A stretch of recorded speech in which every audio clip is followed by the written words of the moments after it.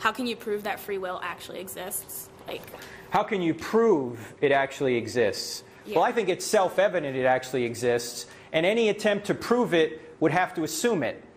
Because if you're going to run some sort of experiment or survey, you have to assume you have free will in order to run the experiment or survey and not just be blindly guided by the laws of physics. This is why, in principle, no one will ever be able to prove that materialism's true. Because in order to prove materialism's true, you'd have to be a scientist who has the free will to follow the evidence where it leads, but that's exactly what materialism denies. right, but how can you say that you're not, like, you're not the one that's not controlling your desires? Like, they're on a cellular level. Um, Is it possible that everybody in this room and everybody outside this room is in the matrix? And that we are experiments of uh, some crazy scientist way out there somewhere? Yeah, that's possible. There's no way of disproving that.